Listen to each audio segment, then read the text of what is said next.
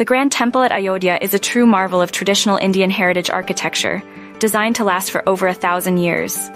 Top Indian scientists and even ISRO technologies have contributed to making it an iconic structure.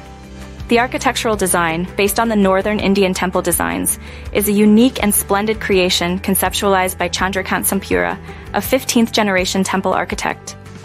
The temple area is 2.7 acres with a built-up area of about 57,000 square feet, and it will be a three-floor structure.